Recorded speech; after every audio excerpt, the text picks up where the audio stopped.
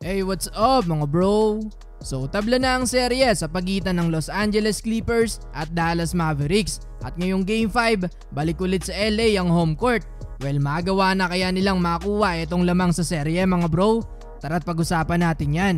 Well, sa first quarter, unang nakatikim ng kalamangan itong Dallas, 35 to 28. Si Luka napakainit ng naging first quarter kung saan nagtala lang naman siya ng 19 points, shooting 5 of 6 pagdating sa 3 Plus samahan pa yan ng 3 rebounds at 4 assists. Sa lahat ng kategory, siya talaga ang nangunguna para sa Dallas habang sila Kawhi Leonard at Paul George nag-combine lamang ng 13 points sa first quarter.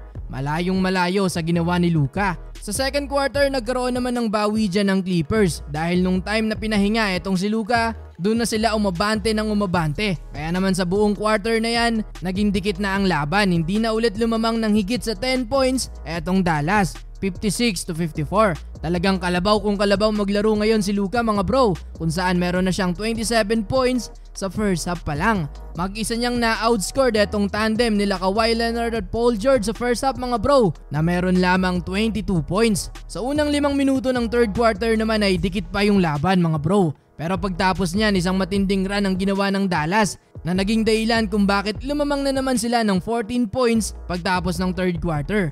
89 to 75. Si Luka nakapagtala dyan ng kanyang 40 points at 13 doon sa third quarter ng galing. Yung 13 points ni Paul George sa third quarter, iniscore lang ni Luka sa third quarter mga bro. Tapos si Kawhi masama pa ang opensa kung saan meron lamang siyang apat na puntos sa quarter na yan. Talagang wala silang magawa sa init ngayon ni Luka Doncic. Well, hindi pa naman tapos ang laro dahil sa fourth quarter nagkaroon pa ng bawi ang Clippers dahil sila naman yung may matinding panga-outscore na ginawa para sa Dallas. Nabura na lang yan nung naka-score na itong si Luka. Dito nga nagawa nilang maibaba sa apat yung lamang ng Dallas, 91 to 95. Kaso dahil sa tres na to ni Hardaway at Porzingis, ganun-ganun na nga lang balik ulit sa 10 yung lamang ng Dallas, 101 to 91. Pero mabuti na lang sa timeout na yan ng Clippers, agad silang kumuna ng 9-0 run. Dito nga baba na lang ulit sa isa yung inahabol nila, 101 to 100. Well may pagkakataon sana silang makalamang kaso mukhang kinabahan nata etong si Terence Mann dahil imbes na itira niya na, eh pinasa niya pa. Kitang kita na bukas na bukas na siya doon eh. Kaso pinili niyang ipasa. Kaya naman dahil doon, doon natalo ang Clippers, 105 to 100. Mukhang mas gustong talunin ni Luka etong Clippers sa mismong home court nila mga bro.